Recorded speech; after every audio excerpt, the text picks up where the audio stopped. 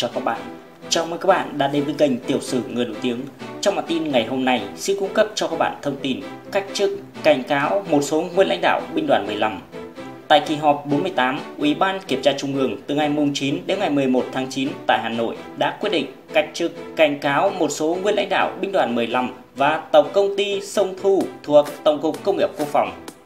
xem xét báo cáo của Ban Thường vụ Quân ủy Trung ương về đề nghị thi hành kỷ luật đảng viên, Ủy ban Kiểm tra Trung ương đã nhận thấy một số nguyên lãnh đạo binh đoàn 15 và Tổng công ty Sông Thu thuộc Tổng cục Công nghiệp Quốc phòng đã có vi phạm khuyết điểm trong lãnh đạo chỉ đạo tổ chức thực hiện nhiệm vụ sản xuất kinh doanh, mua sắm tài sản, trang thiết bị, thực hiện dự án đầu tư và quản lý sử dụng đất đai của đơn vị. Ủy ban Kiểm tra Trung ương đã quyết định thi hành kỷ luật cách chức Phó Bí thư Đảng ủy Binh đoàn 15 nhiệm kỳ 2010-2015 đối với Thiếu tướng Nguyễn Xuân Sang, nguyên Phó Bí thư Đảng ủy, nguyên Tư lệnh Binh đoàn 15. Cảnh cáo Thiếu tướng Đặng Anh Dũng, nguyên Phó Bí thư Đảng ủy, nguyên Tư lệnh Binh đoàn 15.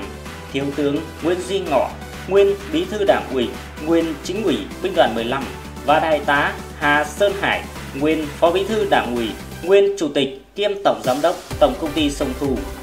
Khiển trách Đại tá Đường Công Luận, nguyên Ủy viên Ban Thường vụ Đảng ủy, nguyên Phó Tư lệnh Binh đoàn 15. Đại tá Trần Quang Hùng, nguyên Phó Bí thư Đảng ủy, nguyên Giám đốc Công ty 74. Đại tá Đỗ Vinh Quốc, nguyên Bí thư Đảng ủy, nguyên Phó Giám đốc Công ty Bình Dương, Binh đoàn 15 Đại tá Phạm Hồng Nam, nguyên Bí thư Đảng ủy, nguyên Chính ủy Xí nghiệp Liên hợp Sông Thu, kiêm Phó Tổng Giám đốc Tổng công ty Sông Thu và Đại tá Nguyễn Xuân Tình, nguyên trợ lý Phòng Quản lý Dự án Đầu tư Bộ Tham mưu Tổng cục Công nghiệp Quốc phòng.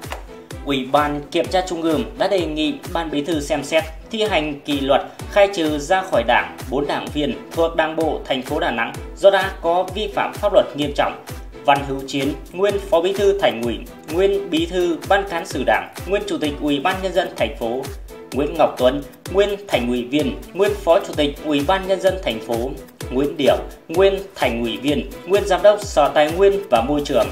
Đào Tấn Bằng, Thành ủy viên, nguyên Bí thư Đảng ủy các khu công nghiệp thành phố Đà Nẵng, Ủy ban Kiểm tra Trung ương đã yêu cầu Ủy ban Kiểm tra tỉnh ủy Trà Vinh kiểm tra các dấu hiệu vi phạm đối với Ban Thường vụ Đảng ủy Công an tỉnh và ông Lê Văn Việt, nguyên Ủy viên Ban Thường vụ tỉnh ủy, nguyên Bí thư Đảng ủy, nguyên Giám đốc Công an tỉnh Trà Vinh trong lãnh đạo chỉ đạo thực hiện quy chế làm việc và công tác cán bộ.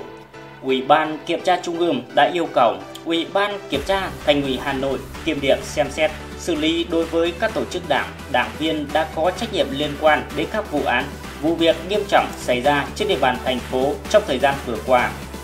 Cảm ơn các bạn đã quan tâm theo dõi. Các bạn đừng quên bấm like, đăng ký kênh và bật chuông để nhận được những video mới nhất. Xin chào và hẹn gặp lại các bạn ở những video tiếp theo.